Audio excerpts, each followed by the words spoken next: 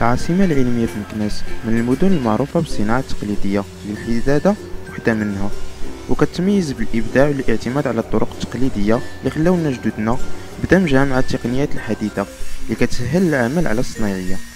واليوم توجهنا لسوق المدينة القديمة جناح لامان بمكناس باش نتعرفوا على هذه الصناعة.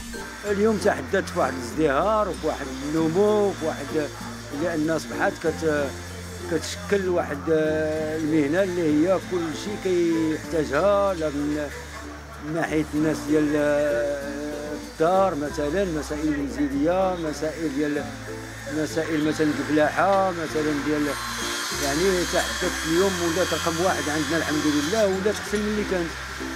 تحدثت واحد الوقيته كانت شوية صعيبة.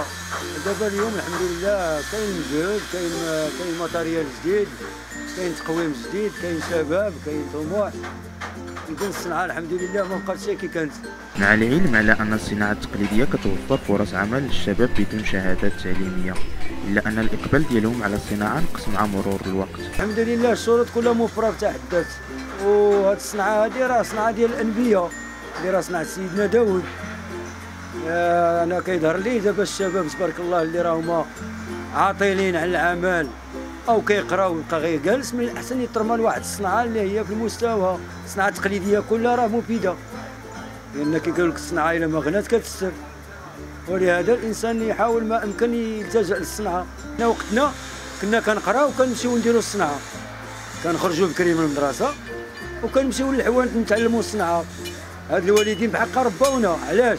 لأن كيقول هذا دابا هذا الوقت اللي غيبقى يضيعنا من بعد ما كيخرج من المدرسة ربما ما جابش الله في القراية كتكون الصنعة مندمجه معاه من صغرو وكجميع الصناعات التقليدية تتعرف هذه الصناعة واحد الجانب من الجمالية خاص بها نتاج ديال الإبداع ديال الصنايعية.